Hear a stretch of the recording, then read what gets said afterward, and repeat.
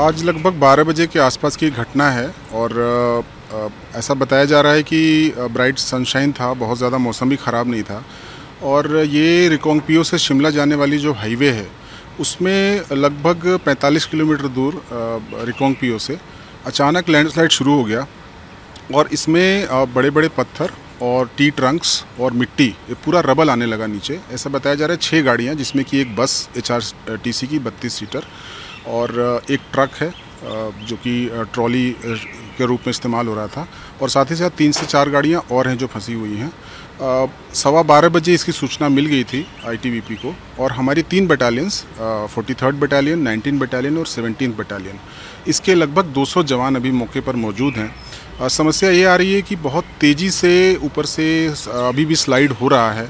और अभी ढाई बजे तक की स्थिति ये थी कि हमारे जो अधिकारी हैं वहाँ पर ग्राउंड में मौजूद हैं उनको बहुत दिक्कत आ रही है आगे बढ़ने में। आ, उसमें हमने आ, मेडिकल की हमारी टीम्स हमारे जो और भी लाइफ सेविंग ड्रग्स हैं साथ ही साथ और भी जो रिक्वायरमेंट्स है वहाँ पर रेस्क्यू एंड रिलीफ की वो सारी तैयारियाँ हमारी तरफ़ से वहाँ पर कर ली गई हैं। जैसे ही शूटिंग स्टोन्स के गिरने का सिलसिला समाप्त होगा हमें लगता है कि हम रश कर पाएँगे। ऐसी सूचना है कि लगभग 40 लोग वहाँ दबे हो सकते हैं, जिनको निकालने के लिए आईटीबीपी की टीम्स लगातार कोशिश कर रही है।